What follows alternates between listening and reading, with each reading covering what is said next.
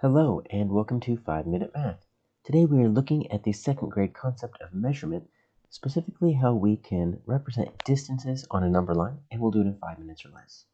So we have a very simple number line here from 0 to 10. And what I want to show for you is how we can use number lines to represent numbers. So let's say I wanted to find different ways that I can represent the number 8. Well, I wrote the digit 8 if I wanted to. I could write it out in words. I could even draw eight little dots. I could put two rows or two columns of four if I wanted to. So those are three different ways to represent the number eight. We can also represent eight with uh, some addition sentences, five plus three. Or we can also do some subtraction, nine minus one. There's a lot of different ways to represent the quantity eight. What I want to show you is that we can also use a number line to represent 8. Now, we cannot just put an x over here on top of the 8 unless we also show where we're starting from. Because this is 8 as long as we start from 0. So I'm going to start from 0. I'm just going to make some hops. 1, 2, 3, 4, 5, 6, 7, 8. Now this right here represents the number 8 because I made 8 hops and my distance from 0 to 8 is 8. The reason why it's so important to show where you're starting from is because for some reason I were to start, if I were to go to 8, I'm going to show that underneath the number line, but let's say I started at 2. Well, that would be 1, 2, 3, 4, 5, 6.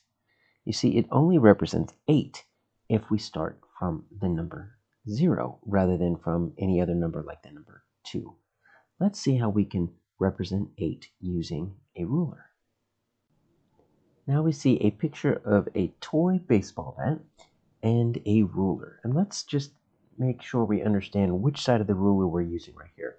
We've got this baseball bat lined up on our inches side.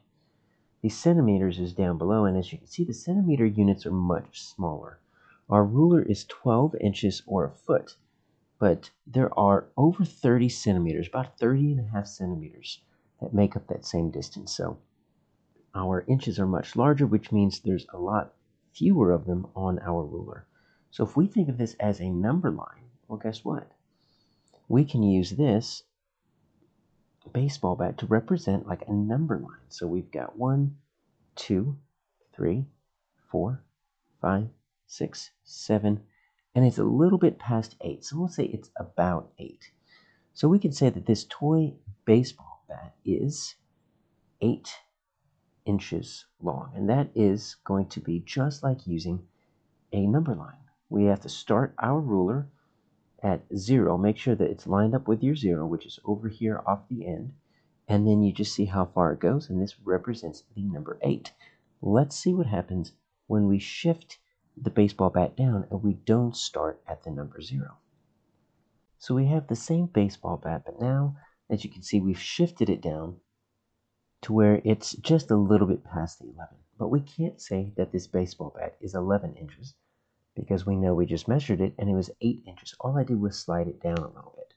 So if we're looking at this ruler as a number line, we can still find the measurement of this baseball bat. We just have to take one extra step. So we know it ends at about 11. We also need to see where it starts. And it starts right there at 3. So what we can do is we can still count forward, just like a number line. And let's just make some of these hops here. One, two, three, four, five, six, seven, eight. So this is still 8 inches. We knew that was going to be the case because we didn't change the way it looked.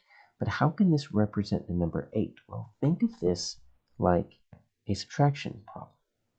So what did we end with? We ended with 11. So I'm going to put 11 up here. But we didn't start with 0. If we started with 0, then it would be an 11 inch bat. We started with 3. So if we can take away 3, 11 minus 3, well, that equals 8. Just like these other expressions up here equal 8. So that's another way that we can re represent the number 8 with number lines and with rulers.